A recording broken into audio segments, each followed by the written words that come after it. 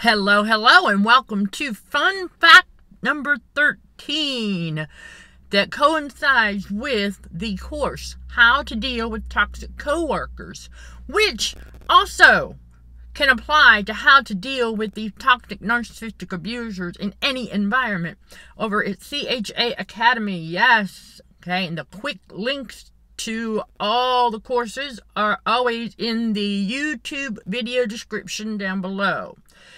And I want to go ahead and cover this one because it's very, very important to let it sink in. Okay, because of the simple fact that, you know, the enemy loves to trick people into keeping your work and personal life combined because that contributes to keeping people emotionally dysregulated.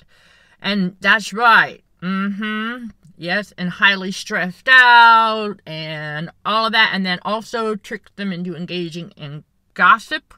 Aha, that's a big one right there. And complaining. That's another one right there.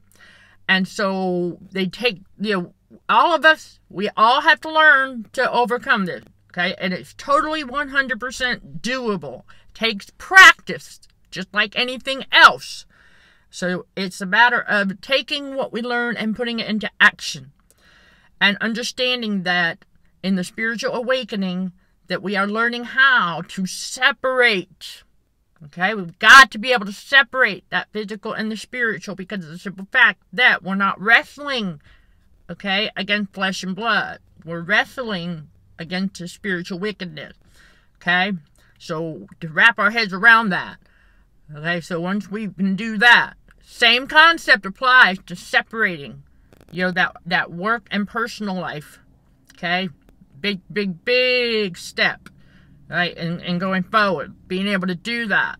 You know, how to deal with these toxic narcissistic abusers at work, at home, wherever they are. Right? Being able to know that, okay, it's not personal. It's not about you. It's not about us. Okay? It never has been, never will be. Remember, our times and our lives are not about us. About pleasing God. So, learning how to separate those two from each other is really, really important.